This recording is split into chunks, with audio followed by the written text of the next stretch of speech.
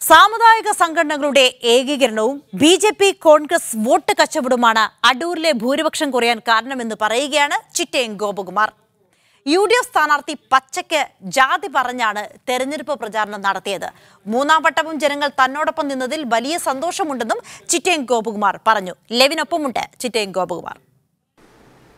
പത്തനംതിട്ട ചുവന്നു തുടുത്തപ്പോഴും ആ അടൂരിന്റെ ഇടതുപക്ഷത്തിന്റെ ആധിപത്യം ഒരിക്കൽ കൂടെ വ്യക്തമായിരിക്കുകയാണ്. തുടർച്ചയായ മൂന്നാം തവണയും അടൂർ എം എൽ എ ആയി ചിറ്റയം ഗോപകുമാർ തെരഞ്ഞെടുക്കപ്പെട്ടിരിക്കുന്നു. അദ്ദേഹം വിജയത്തിന് ശേഷമുള്ള മീഡിയ വണ്ണുമായിട്ടുള്ള ആദ്യ പ്രതികരണത്തിലേക്ക്.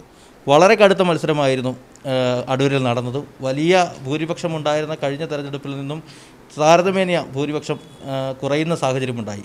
എങ്ങനെയായിരുന്നു മത്സരത്തെ വിലയിരുത്തുന്നത്? ഇവിടെ കടുത്ത മത്സരം ആദ്യം ഇല്ലായിരുന്നു. കാരണം കഴിഞ്ഞ നല്ല ഭൂരിപക്ഷത്തിൽ വിജയിച്ചു. കഴിഞ്ഞ അഞ്ച് വർഷം ഈ മണ്ഡലത്തിൽ നടപ്പാക്കിയ ധാരാളം വികസന പ്രവർത്തനങ്ങളുണ്ട്.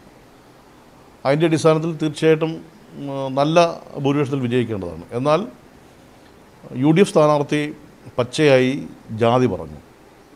അദ്ദേഹത്തിന്റെ സാമുദായിക സംഘടനയെ ഏകോപിപ്പിച്ചുകൊണ്ട് എനിക്കെതിരായി ആ ജാതി ഏകോപനം നടത്തുകയും അതുപോലെ തന്നെ തന്റെ കുട്ടിക്ക് സുഖമില്ല എന്ന് പറഞ്ഞുകൊണ്ട് പത്രങ്ങളിലൂടെയും മാധ്യമങ്ങളിലൂടെയും അതൊരു വാർത്തയാക്കി സിമ്പതി ഉണ്ടാക്കാൻ വേണ്ടി പരിശ്രമിക്കുകയും.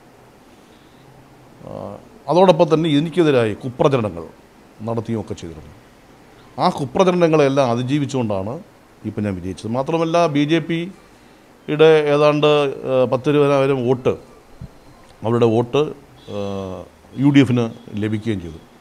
ഈ ഒരു സാഹചര്യത്തിലാണ് ഇവിടെ തെരഞ്ഞെടുപ്പിന്റെ ഫലം വന്നപ്പോൾ ലീഡ് കുറയാനിടയായിട്ടുള്ളത്. ഈ കുപ്രചരണങ്ങളും അതുപോലെ തന്നെ അടിസ്ഥാനരഹിതമായിട്ടുള്ള കാര്യങ്ങളും ഒക്കെ ഉണ്ടായിട്ടും തന്റെ സമുദായത്തെ ഏകോപിപ്പിച്ചുകൊണ്ട് എനിക്കെതിരായി ഉള്ള പ്രവർത്തനം നടത്തിയിട്ടും ഈ അടൂരിലെ ജനങ്ങൾ എന്നെ വീണ്ടും വിജയിപ്പിച്ചു എന്നുള്ളതാണ് ഞാൻ കാണുന്ന ഏറ്റവും വലിയ സന്തോഷകരമായ കാര്യം. സി പി എം മൂന്നാം വട്ടം തുടർച്ചയായി ജയിച്ച താങ്കൾ മന്ത്രിയാകുമെന്നുള്ള പ്രചാരണങ്ങൾ ഇതിനോടകം തന്നെ ശക്തമാണ്. അത്തരത്തിലുള്ള തീരുമാനങ്ങളോ അതുമായി ബന്ധപ്പെട്ടുള്ള കാര്യങ്ങളോ പാർട്ടി അറിയിച്ചിട്ടുണ്ട് പാർട്ടിയാണ് അതെല്ലാം നിശ്ചയിക്കേണ്ടത്. പാർട്ടിയുടെ സ്റ്റേറ്റ് എക്സിക്യൂട്ടീവാണ് ഇത്തരം കാര്യങ്ങൾ ആലോചിക്കുന്നത്. C P I C P M ചർച്ചകൾ നടന്നുകൊണ്ടിരിക്കുന്നേ ഉള്ളൂ.